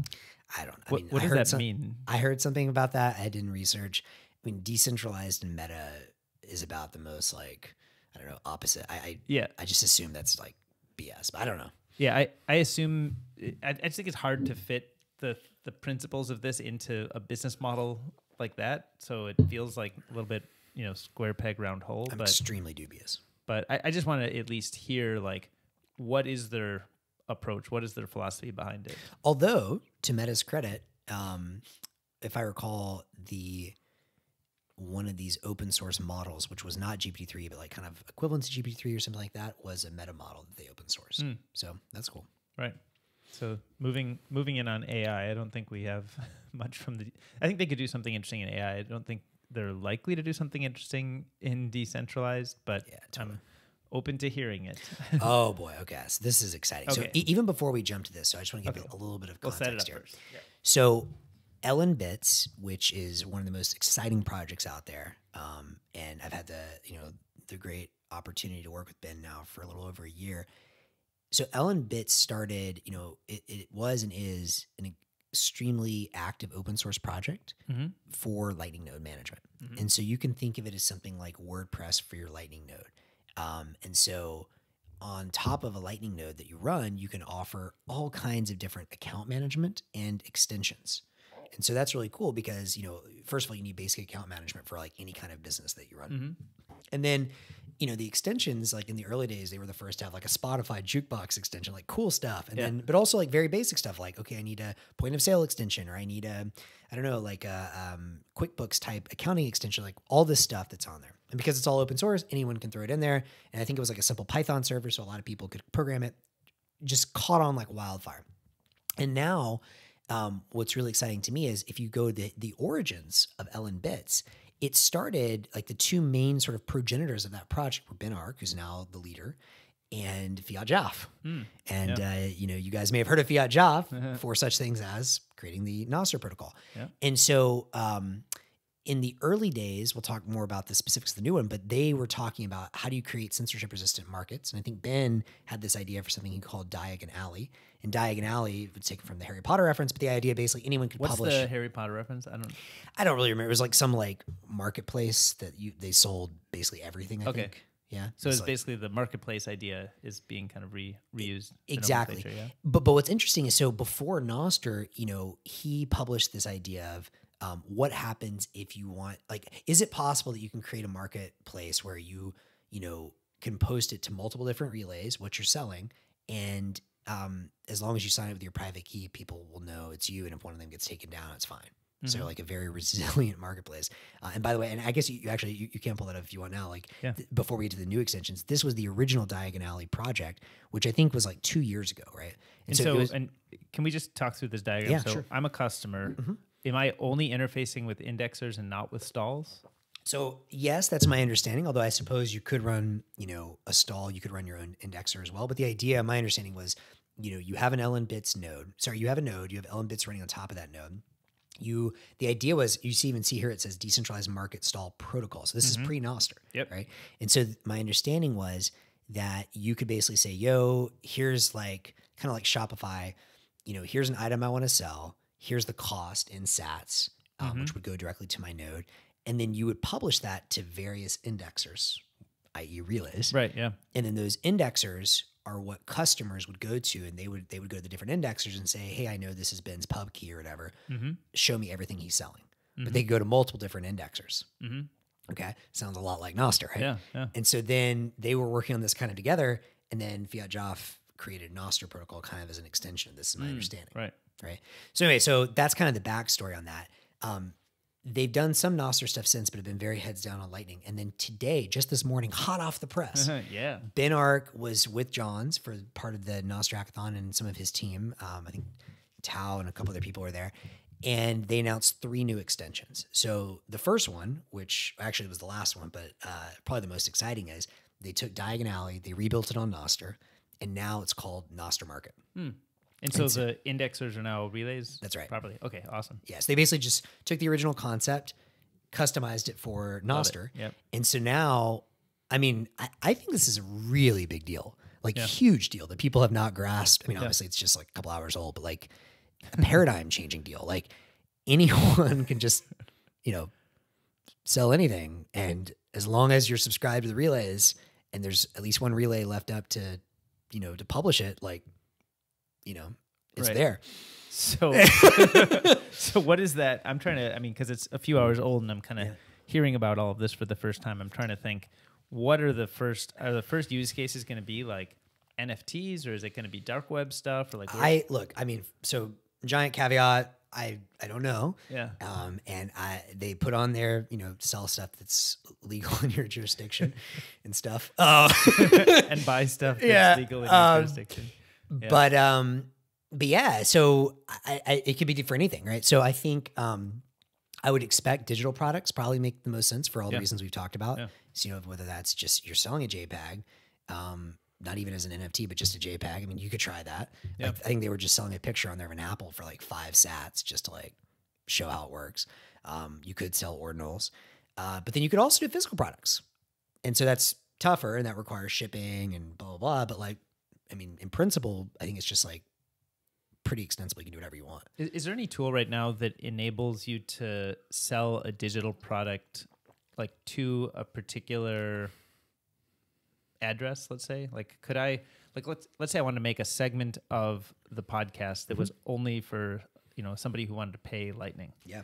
And so I create like, you know, Max showing off the shirt as like the premium segment. Oh yeah, that's And gonna get the subscribers. and then I I I push out a note that says, "Here, buy this thing." Yeah. And I have do I have it like signed in a way, or it only can be decrypted by people who I've like authorized by signing it with their public key if they've paid me or That's a great question. Um, I don't think anyone's built that yet, but it sounds like a great idea. because because if this digital thing is early for a marketplace, Mm-hmm. if I'm selling things digitally, like you know maybe in the in the kind of non kind of decentralized world, maybe I'd use like a Gumroad or something, right? It's Yeah. like a tool that's built for that.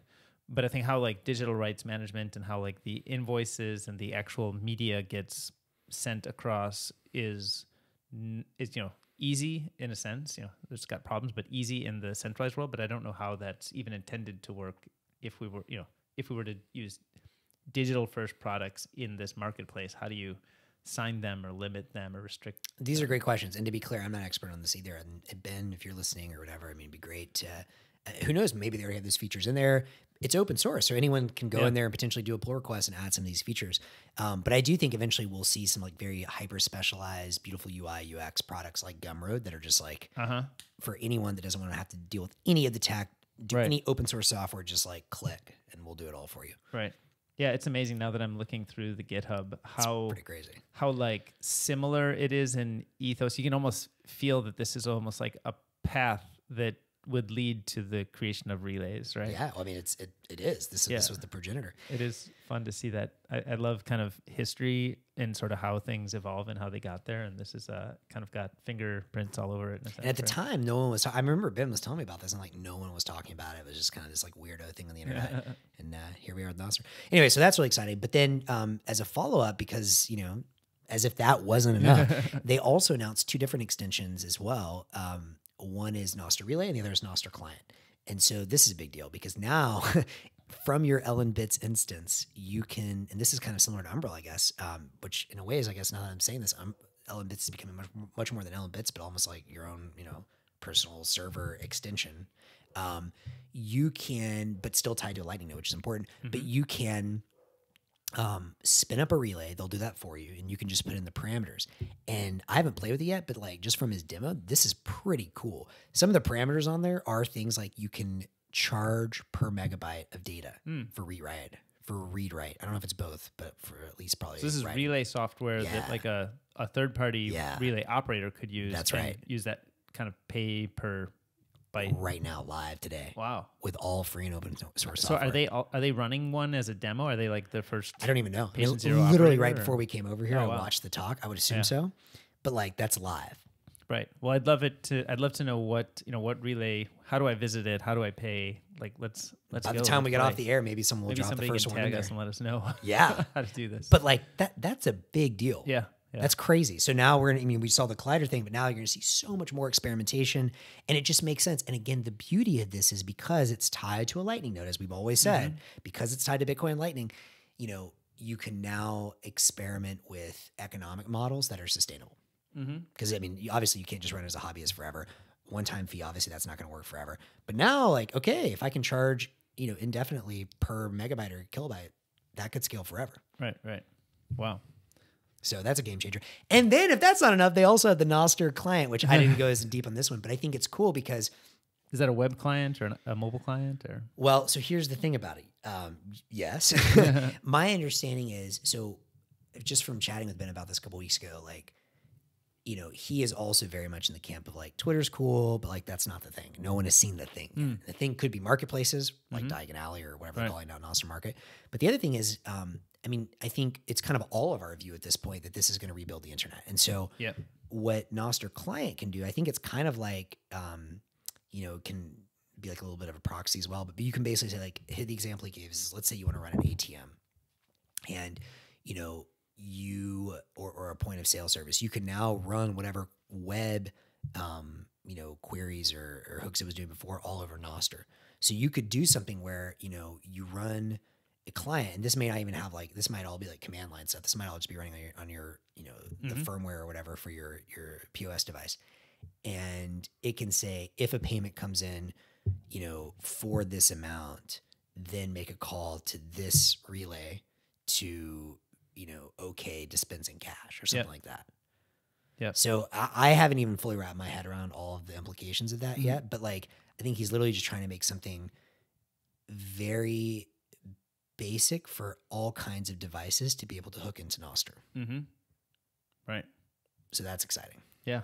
So like I, I think this morning his announcements are like probably the biggest announcements in Nostr since Yeah, yeah, Nostr. yeah, that's great. Well, I have to actually dig into this stuff to to get more depth. But those, thanks for bringing those to light because I was Yeah. not aware that any of that was And happening. thanks to uh, been in the LN bits community, those guys are just like literally.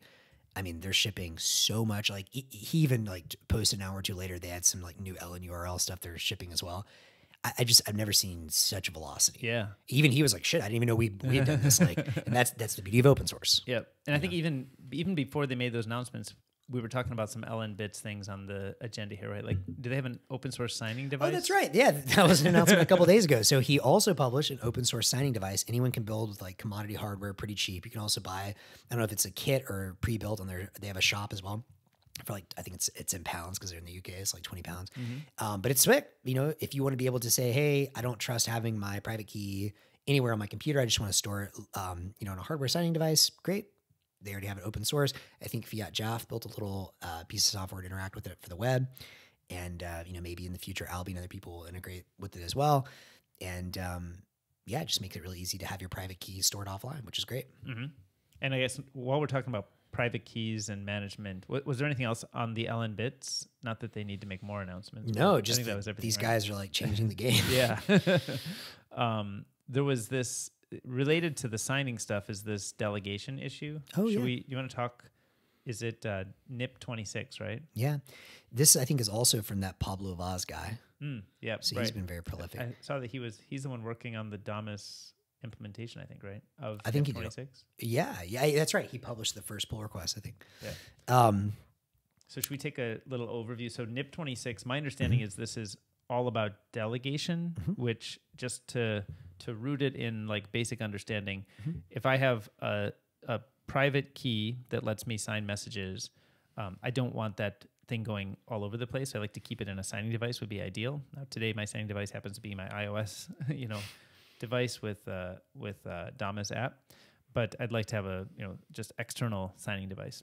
And I think the idea of delegation, if I understand right, is to have multiple kind of sub private keys that could either be different accounts or repeats of the same accounts or accounts that I want to later expire because like maybe something went wrong with it. So it's just like a, a way that I don't have to use my kind of base private key and can have a bunch of other keys that are kind of my daily use private keys that might be either different contexts or uh, or they might be like my real main use context, but not one that I'm actively uh, basically one that I can revoke and I still have a more grounded something somewhere that I can you know rebuild everything from. So is that roughly what delegation is all about? yeah, that, that's my rough understanding. Okay. Again, not an expert, eh, but maybe also that some of the the child keys, you have a parent master key, and the child keys may have certain permissions. Like maybe it can only sign certain kinds of events as well. I think that's possible. Um, and then delegation in general, I think was also created as part of um, Minds.com inter- integrating um, with Nostr, which is interesting because they were an existing social network, and so you know a user with an npub there, or they may take their private key and say, "Hey, we're going to generate whatever another key for you Minds that gives you whatever signing ability, but is revocable." Or something like that. So it's it's like if you could imagine that if Twitter one day integrates with Nostr, they would need to use some kind of delegation. Right. Um, but in general, I am super excited for this. Would love to see. You know, it looks like Alby and others. Um, I know it's very new. I haven't integrated yet, but I'm sure they will. And So NIP 26 enables signing events with one set of keys on behalf of a different set. That's the right. core. And then under restrictions, under certain so restrictions. you can set conditions. Yeah. And so what clients support NIP 26? So so far Snort and Gossip and then Mm-hmm. Damus is in progress by Pablo, right? Mm-hmm. And then what browser extensions support NIP 26? And that's NOS2x and Alby. Alby is or sorry, NOS2x is on right now and Alby is waiting to be merged and there's a PR 2063. I love it. Yeah. And again, the beauty of open source, they're all open source. So I don't know who even published the PR, but that's great. And NOS2x is is that fiatjaf's Mm-hmm. kind of eh, Chrome extension or kind of That's my understanding. Yeah. But it's so cool because now, like, yeah, like, you know, even though I think Alby is a great piece of software, I've been, you know, very cautious since getting Pwn. But this is great. Now I'll just, you know, generate a new private key that's not my master key that I could always revoke. And that's what I'll use to integrate with the web. I've been literally waiting for just this. So Right. I'm happy. That's cool. And did I see um, some announcement? There's like a new piece of hardware from Coldcard that does that have a Nostr related signing feature or No idea. I haven't heard. because there's something that's there's some big new. It looks a little sophisticated, you know, compared to. I mean, I think properly they they do a lot of stuff that kind of looks and feels very basic, which is like part of I think the security idea is like don't have a lot of complexity. Uh, but then this new uh, piece of hardware they have, I think it was just announced I don't know weeks ago, and I thought it had maybe some Nostr signing ability, but I don't know. I, am certainly not well researched on it, so could be. I was raising it in case you had more info, but don't go on what I'm saying. Let's let's read up on it before you don't trust verify. Order. Yeah.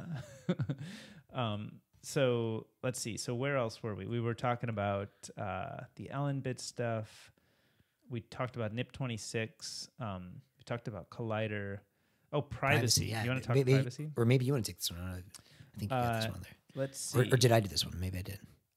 This one, I think, I think I have a little bit of a sense of it.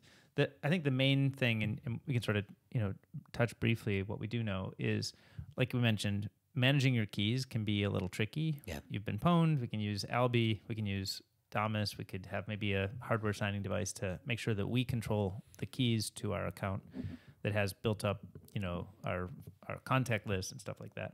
Um, that's one area that you you know it's easy to screw up, but one that you want to maintain well. Um, but that's that's kind of not necessarily so focused on privacy. That's just like you know kind of the security of your keys.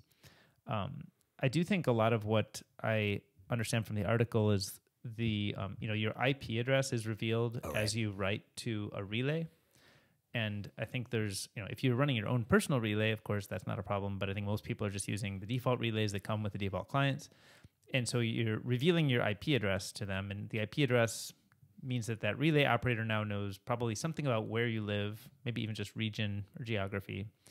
Um, and they might, you know, imagine in the future there's some reason that you know somebody wants to find you, mm. like they might hack into a relay operator and be able to do that. So I think the idea that um, Nostr is not built for privacy is good to note, so that you can you know be aware as you're using it how you're using it, and you might want to think about how to you know do things like here's a section on protecting your IP address, um, and you know using VPNs and others choosing the right relays, probably in the future as we're paying for relays. Oh, this is actually where I saw the relay.nostr.band was. Oh yeah, that's right. Yeah, yeah. yeah. Um, so it's a trust-based spam filter. But how do you, you know, how do you represent yourself to this network that nobody controls, but without revealing too much about yourself that you might not want tracked? Um, and I think this also shows just the importance of having various proxies, whether that's, uh, you know, you run your own via Umbrel or LN bits, your mm-hmm. own personal relay, uh, or you know, I know the Mutiny guys have Blastr, and there's a few of these others. Right. Or maybe you want your client to really only hook into one relay, which is itself a, a proxy that both um, writes and reads and aggregates on your behalf right. for you, so that that the IP address is wherever that proxy is running, not your home IP or whatever. Right. And have you ever been much of a Tor guy, or are you pretty sophisticated with it, or? Uh, no, I mean I'm, I'm familiar. I get how it works, but yeah. I wouldn't say I'm like an expert. Okay, because that that's I guess one thing you could do. It doesn't necessarily fully solve all of this. I don't understand all of the details of of where it does work or where it fails. Um, you know, I'm sort of like I say a very casual, you know, player with it. I'm not a I'm not doing the Edward Snowden, you know, expert uh, opinion version of it. Um, so cool. Okay, so that's let's wrap that on privacy. Um, Nostr Connect SDK. Did you want to mention yeah, a little? N- not a ton to say here. I just thought this was kind of cool. It came up in our conversation at um, at our Nostr Lightning meetup in person, and mm-hmm. which is nice because even though obviously we spend a lot of time tracking this stuff, it's still yeah. cool to hear about projects that you don't see in your in your feed. Right? Yeah. Um, and yeah, just the like, I think it's uh, this is a great idea. I think think you could actually build a great business out of this as well on top of a project like this. But you know, kind of like an Okta type business. Like, how do you make it just super easy for different kinds of apps to integrate connect or log in with with Nostr. Um, my intuition is that login with Nostr is going to become the norm pretty quickly. Yep. And so you know Alby's doing some great stuff there. Um, obviously, Nos2x has that functionality as well. But yeah, I think just making it super easy for apps to to allow that, like they would log in with Google or Twitter. And someone mentioned that this is a, a product or a, uh, open source project focusing on that. Yep. It's great. All right. Next up, uh, I think we're both excited about this Prisms idea. This yeah. is actually a pretty. Do you want to talk about this one? yeah. So um, in my understanding, I've, I've read this, uh, but I'm sure you have more to say. But uh, you know, we've talked about. I think we have done like the payment splits on Fountain, Mm-hmm. where you know you can be on a podcast. Actually, I haven't even checked. Did, did you put me on one of those splits? You know, I I forget. I've I've messed with it, but I haven't. I don't know if I've done it properly yet. Yeah. Well, I mean, i- Probably if not, it's, it's very cool. Yeah. um, but uh, I think I think Kevin Rooke uh, did a payment split with me when I Mm-hmm. Oh, yeah. showed up on his show, and I did see payments come into me from that. And my understanding is that you know he publishes out the work of you know we made together, and then some of the anybody who decides to tip or pay for that show or kind of value for value exchange for that show. Um, uh, you know, he he can set up the split. So maybe 50% goes to me, 50% to him, or 60 40, or I don't know what the split is. But those are kind of done at the application layer right now, right? So Fountain would be the split point for that, which means that, you know, only it only works for people who are using Fountain, which, you know, hopefully a lot of people are using it, but it's less at the protocol layer. And so my understanding is the Prism's idea is take that same concept of hot like I want to pay to a specific address, but then there could be a programmatic split to Yeah. two or more parties. Um, and so Prism is a way to make that programmatic and at the Lightning layer so that it happens as part of the Lightning layer and not in a particular application. So the the easy, you know, the screenshot actually explains a lot here. There's like this yellow one. You can't probably read it too too well on the video, but this yellow one is an input, and then the Prism splits that into three payments, and then the green shows one of those payments actually is an input to another Prism that actually splits out into two payments. So this one person decides to pay value at that yellow goes in and actually ends up in four different wallets, Yeah. right? It's cool. Um, so yeah, I don't know. The, I think was this this is proposed by Gigi, Gigi, is it? yeah. And I I don't know all the. I know he's like kind of a celebrity in Bitcoin, but I don't necessarily know all of who is here. Like, what's his? He's is he a NIM or he's worked on other projects? or- He's a NIM, and he is, I would say, most known for his essays. He he does, I think, some software development as well, but he's most known for his essays. Um, and they're generally just like some of the highest quality, most thoughtful essays out there. I really love his one on value for value. I think it's one of the best pieces explaining the potential for value for value. Um, so yeah, I'm, I'm a big fan. I like in this one. I mean, I think what's interesting is just, I think he's just trying to like get people thinking. How can we make it normal to split payments everywhere? And so that could be at the protocol level, maybe with something like Bolt 12 in the future. Um, but it also could just work with uh, LNURL and Lightning addresses right now. But I don't think that's. I think he kind of hacked it together using LN bits right now. But I wouldn't be surprised if the LN bits guys hear this and just make it the norm that any Lightning address is itself a proxy for other Lightning addresses. And I think that's also really nice for privacy, where maybe you don't want, you know, um, you don't want to reveal your like main Lightning address, right. But maybe you have a show, and like if we have Nostr News, and like we just revealed the Nostr News address, Right. And then that splits to our private addresses or whatever. Right. That's cool. Yeah. And so here's the the little the rundown on it. So Prism is identified by a lightning address. A prism has one or multiple recipients. Another prism can be one of the recipients, and splits are defined programmatically. Yeah. So those kind of four statements define this core idea. And so he put this out there. Obviously, if he's been in the value for value blogging, like he's he wrote, it sounds like the canonical value for value or one of the most One important yeah. pieces on there. Um, so we should link to that. But uh, yeah, I think if we've got uh, if he's it seems like he's cared about this for a while and so now he's proposing this and i think he's i think he said explicitly he's not going to work on it or is that right Yeah, I, I think in general he is more focused on you know trying to stir creativity, but right someone else is going to implement hopefully. got it cool and is it what is is nip 33 is this related to it I know? think NIP thirty three is like a blogging NIP for like long form content. Oh, okay. cool cool. Well i'm yeah i'm excited about that idea because we've already seen some of uh, like where it would be used at the app layer and if we can you know get you know get like a obvious utility like that that works and is useful at the app layer and if it makes sense to get into the protocol without creating other problems uh, that seems like a Or, or yeah, the protocol, or even like I think just getting at the Lightning address level would be a game changer. right. When when you say at the lightning address level is that separate from protocol? Yeah, when I think of protocol, like if you did that at the protocol level, you know, that would be more. I don't know exactly how this will work, but more like the Bolt twelve thing, like Mm. like that. That's a protocol level change to have like persistent mm-hmm. QR codes to receive payments, whereas the LN URL and um, Lightning address kind Mhm. of world that assumes that there's like a web server, and I know there's like there's obviously a, a lot of like disagreement and blah blah blah about this, but the point is you could do what he's saying today without a protocol level change with a LN URL I see. change. Yep. Cool.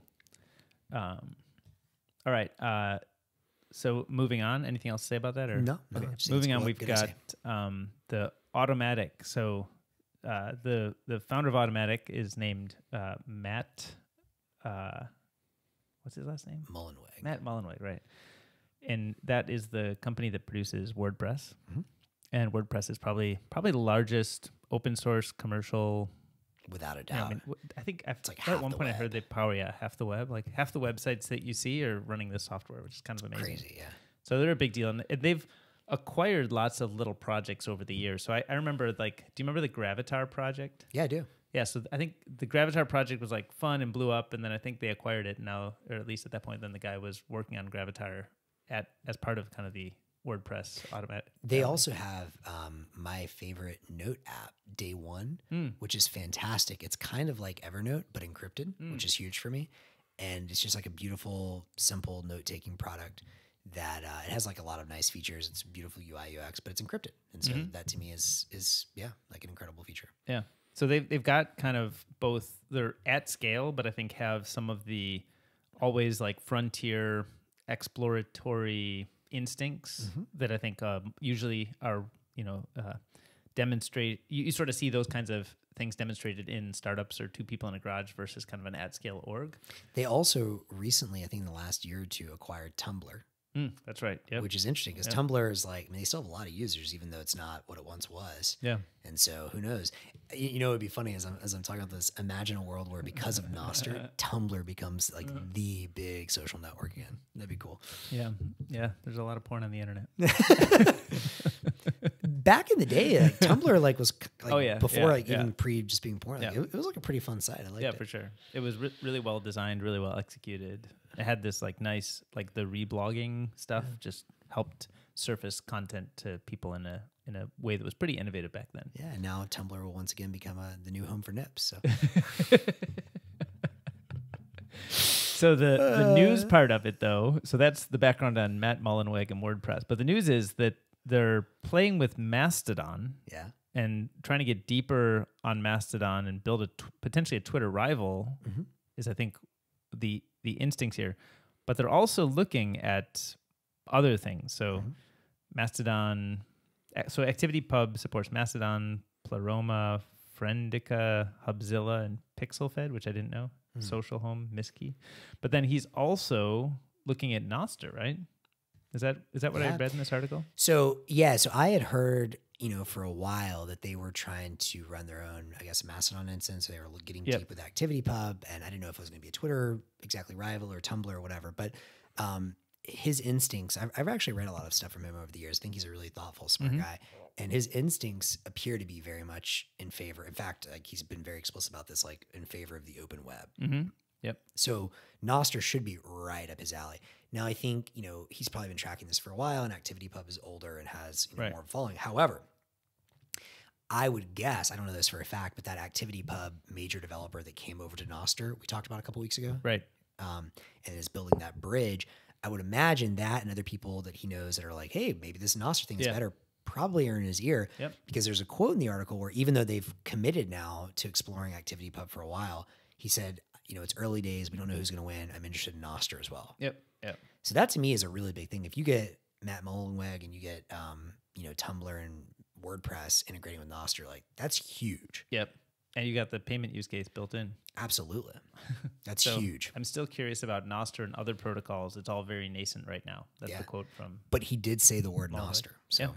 So interesting that he is spending time on that. yeah. Also, I guess he's also dabbling with Blue Sky, which is the I think Twitter Mm-hmm. launched a thing that was kind of Nostery or something. Yeah. Have you played with it?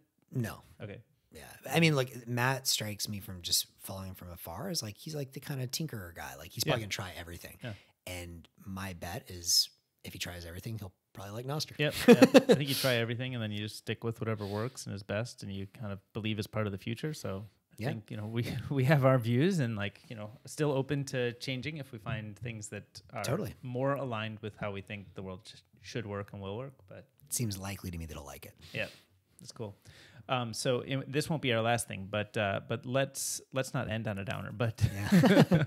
there was uh, there was this article from Coracle that we mentioned called "What Nostr is Bad at," and I think it's good when looking at these new technologies to you know to sort of be excited about what's possible and then be kind of sober about what is the problem right now, both Right. so that when communicating with people, you can communicate, you sort of can establish some amount of, um, you know, rapport in your discussion. Because if you're just like, if you're just like totally hype boy all the time, you know, rah, rah, rah, and you're unwilling to hear the downsides, I think that you just become like not a credible source of information. So, Well, and it also hurts your chance of getting ultimate adoption because Yeah. you're not there to like pushing for improvement.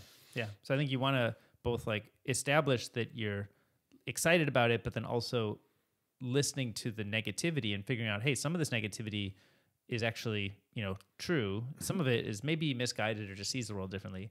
So I actually appreciate when people write these kinds of things because Yeah, I think it, it makes me think more of Cor- Coracle when I see this. It makes me think, okay, good. They've thought about this. They're willing to see the downsides.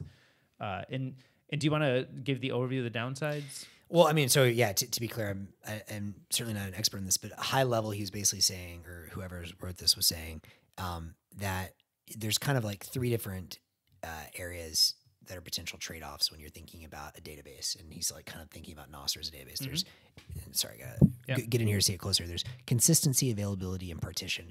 Um, you know, the other way I was thinking about this is you basically need um, consistency, which is you can always read the data whenever you want it um, or I guess that, sorry, that that's availability. There's partition, which I think is like censorship resistance, like you're able to like publish anywhere and and get that. And then what was the last one? So so consistency consistency is every read receives the most recent write or an error, Mm-hmm. and that's I think the one that it doesn't do well, because I might ask a relay, "Hey, give me the latest note from Max," Mm-hmm. and it and it might just give me a note it knows from Max, but it doesn't know the latest because it may not have published to it, it may not have gotten aggregated to it. So consistency is the place where Nostr, the thing that Nostr is bad at. exactly right. And so um, the thing that's good at availability, so you know every request receives a non-error response without the guarantee that it contains the most recent write. I could ask a relay, "Hey, do you have a message from Max?" And they'll be like, "Here's one." Yeah. And like, great. We don't know that that's the latest, but it's true. It's available. Uh, and the partition tolerance is a, also censorship resistance, as you said. So a system continues to operate despite number of arbitrary messages being dropped or delayed. But the consistency, like, is there a path to improving consistency? And like, did you have any takeaways from how that could be done?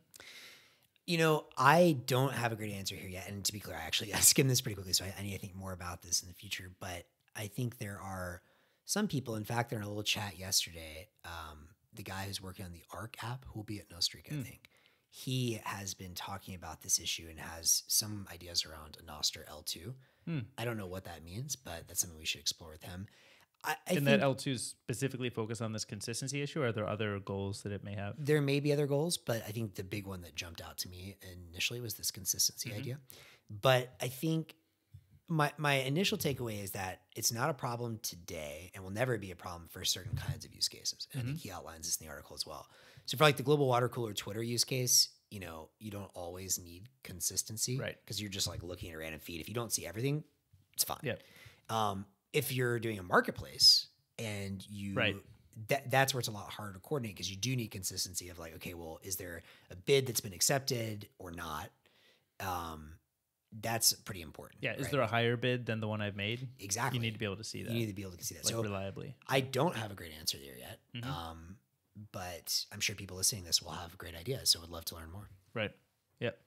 Um, he also touches on the Git on Nostr idea, which I think you know we've talked about a few times here. But you know, Git on Nostr, could you actually use the notes as a unit of messaging to help coordinate effectively the features that GitHub serves? And I think he was pointing out that you know uh, this the source control, so the issue tracking and pull request system, may be kind of the first things to do with Nostr Yeah. but because of the lack of consistency, you can't use that as like your main source of uh, for the source code. Yeah. It's like one one of the goals I think in thinking about GitHub, you know, in a Nostr world is to like someday we should be able to have like the Bitcoin core Yes. source code, you know, not not dependent on GitHub, which is owned by Microsoft, which has kind of all the problems of you know uh, censorability or censorship possibility.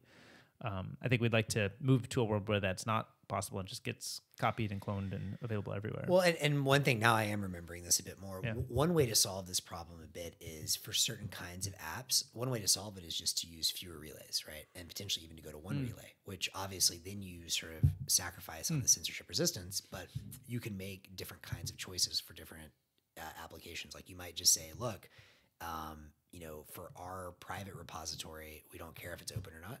Oh, So it's totally fine if we're going to do our own private, um, you know, repository for, for this coding project or whatever. So I think it's interesting as one like kind of obvious solution is for specific apps, you may only need one or two relays anyway. uh-huh. Um, obviously, then you lose the global nature and the censorship resistance, but maybe that's fine in certain instances.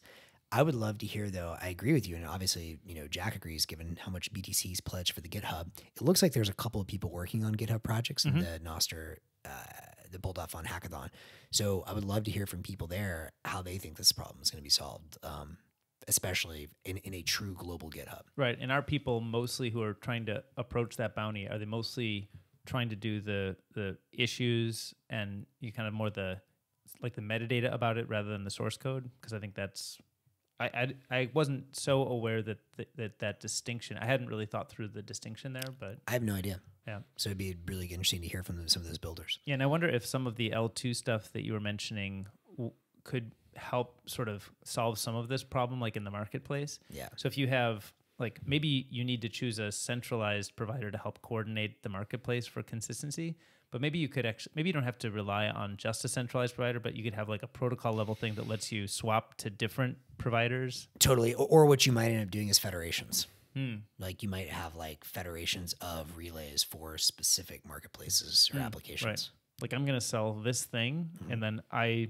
just trust that oh, I'm going to run it on this relay and that's how that sale is going to happen. Yeah, or even like these like five relays like together, Hmm. you know, they have their own like kind of L2 their own protocol amongst them where when I publish, I know it's going to get published to all these like other, other Right. guys, but there's no guarantee beyond that in the network. Right. It's like subnets. So the but the lister of the marketplace item would choose kind of which Yeah. center or federation to use, but presumably the next time they list an item, they could just use a totally different set. And if the place where they choose to list it shuts them down, they could go somewhere else. Exactly. And, and you know, what's going to be interesting to see is, you know, again, with all this open source software, you can do all kinds of things with it. Hopefully, very good things, but Yep. you could do bad things, whatever. And so, whoever's judging that. But, you know, you could easily see a world where there's going to be, I mean, this is almost certainly going to happen. There's relays that, let's say you're you're a, a view for a marketplace in the United States or the Europe or something. There's going to be certain relays you're allowed to index and certain relays you're not, almost certainly Mm-hmm.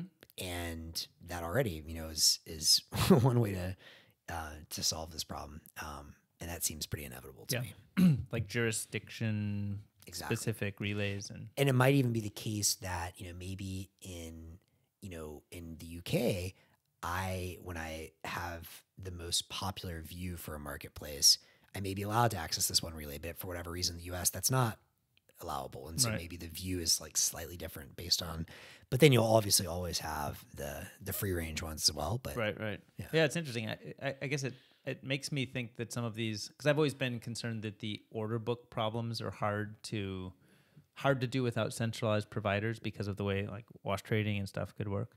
Uh, you know, kind of price pumps with you know bad actors. But I wonder if that if the idea of being able to have centralized providers but more portable, Yeah. who the provider is can help sort of solve the centralized need while reducing the actual dependency. So you Yeah. get get you trust minimized, but you can't remove trust. Well, and I think that's that's like the kind of core foundation of Nostr. Yep. Yep. It's not decentralized. It's just or trustless. It's trust minimized and Yep. on the spectrum more decentralized. Yep. So yeah. Anyways, Cool.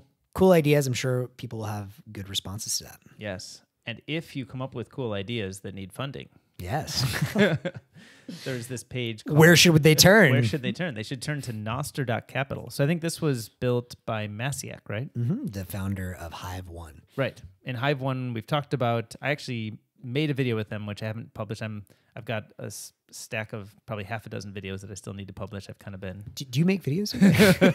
but I, I mean, nominally yes, but I haven't published one in like a week now. Oh, wow, Since our last Nostr news, I think I've just been kind of.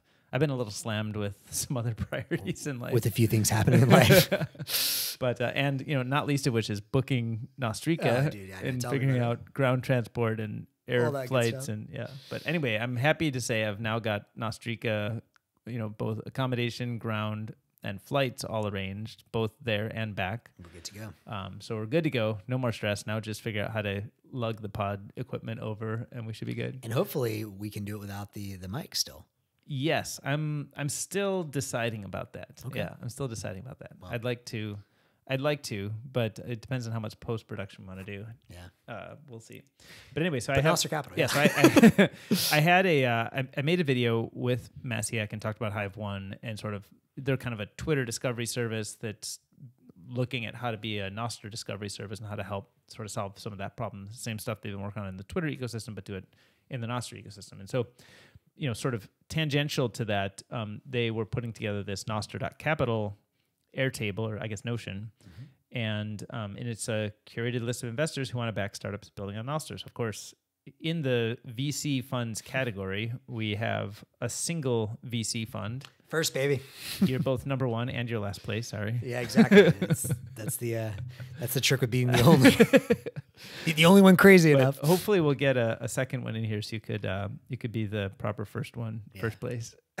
There we go. We need some uh, ankle biter VC fund uh, trying to come up and, and try to take your place. But anyway, Yeah, yeah, and, and, by the way, like I, I do hope that happens pretty soon, and you know, particularly at the later stage as well. I really, you know, I hope some of these Series A funds are ever going to be excited to to hopefully fund yeah. some of our pre-seed C deals. So Yeah. And so the basics here are Hive Mind. You write 250k to one million dollar checks, right? Typically, yeah. Um, and people can find you, of course, uh, according to your NPub. You're pretty easy to find. Don't go to the pwned one. Go to the real one. yeah, that's right. Uh, HiveMind.vc slash Nostr, and I guess you must have your NPub on that as well. Yeah, I, I, I updated that after I got Perfect. pwned. Perfect. Yeah. That's how you find that. And then there's a few that are called, I guess it's listed as VC funds, individuals. Yeah. And so there's Max also shows up at the top of this list. I, I don't know why he put me there twice, but yeah. Just more airtime. but hey, who's that guy? David King. I, I've heard of him somewhere. So yes, I'm also on this. Uh, so I just asked him to update that because I'm I'm interested in this space a lot, and I'm interested in angel investing, and you know have been uh, active in trad tech, you know Silicon Valley style angel investing. uh, angel investing, not not uh, not so much the uh, the crypto flavor of things, but more you know somebody building a marketplace or a you know SaaS business. Uh, for a long And- time, And you've had some pretty big hits in your portfolio, no? yeah, some things have really worked out. What, what would you say is like your like I don't know one of your favorites? my my my favorite is is my favorite for maybe a different reason than most people because I actually don't I don't look at angel investing so much as a purely financial thing, but I look at it as like relationship building with great people and founders and people I just want to like spend more time with. Yeah, and it's fun too. It's su- super fun to like learn about these ideas and learn about the future, and um and so you know I think my my favorite is well it's hard to say favorite but one of the ones that I really have a particular affinity to is uh, these two guys who I had worked with before many years ago I don't know 13 years ago or something and they went and started this company called Cambly Hmm. and it's uh, a service to help people find a native English speaker Oh, that they can speak with so I didn't know that. Cool. learning English worldwide is a very important skill, Yeah, and it huge. actually it helps people economically lift themselves up. Yeah. And so it's something that lots of people want, but it's hard to get good at English if you don't have anybody to practice with. Totally.